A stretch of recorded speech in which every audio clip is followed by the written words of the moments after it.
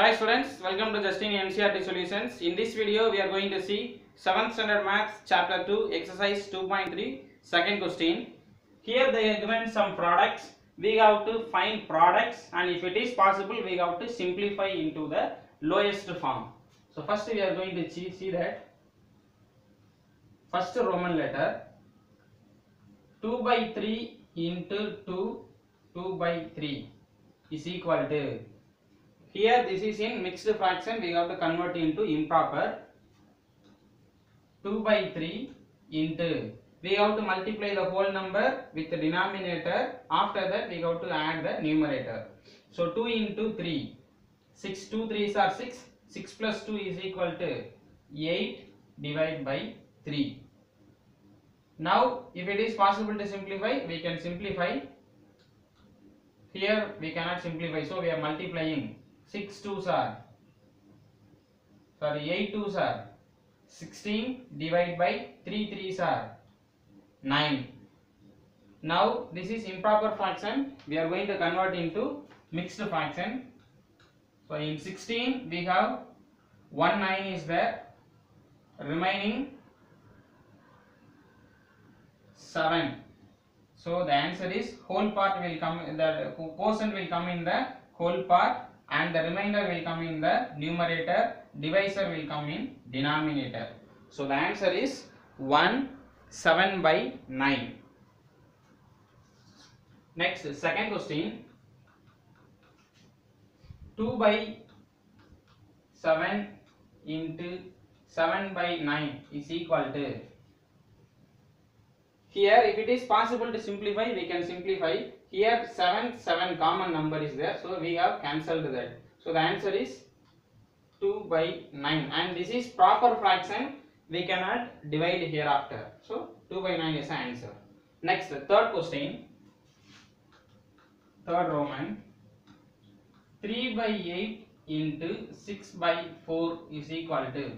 Here if it is possible to simplify we can simplify.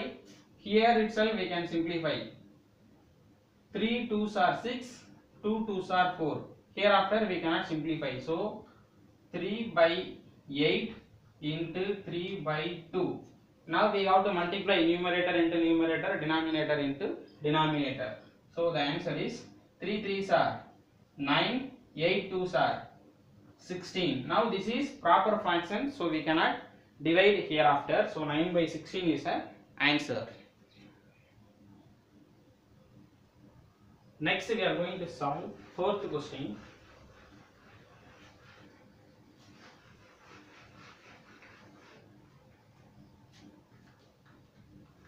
Fourth question. 9 by 5 into 3 by 5 is equal to. Here we cannot divide any number so we are multiplying. 9 3s are 27 divided by 5 5s are 25 and this is improper fraction. We have to convert into proper fraction. So we are going to divide. In 27 we are going to divide by 25 in 27 we have only 125 is there remaining 2 so the quotient will come in the whole part. 1 and the remainder will come in the numerator and divisor will come in the denominator. So 1 2 by 25 is answer for fourth question.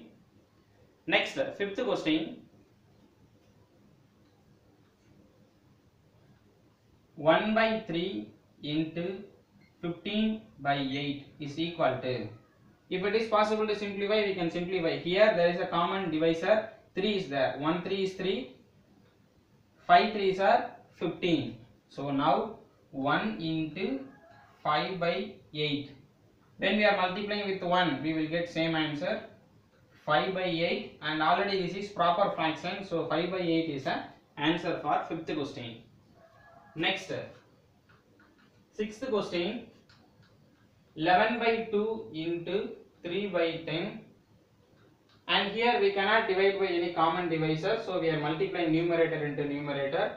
11 into 3 is equal to 33 divided by denominator into denominator. 2 tens are 20 and this is improper fraction so we are dividing 33 by 20 in 20, in 33 we have only 120 is there. 120 is 20 and the remaining 30 so the divisor the quotient will come in the whole part whole number whole part. And the uh, remainder will come in the numerator. And the divisor will come in the denominator. So 1 13 by 20 is answer for sixth question. Next seventh question 4 by 5 into 12 by 7 is equal to. Here if it is possible uh, to divide by common uh, divisor we can divide and here we don't have any common divisor. So we are multiplying 4 12s are 48 divided by 5 7s are 35 and this is improper fraction.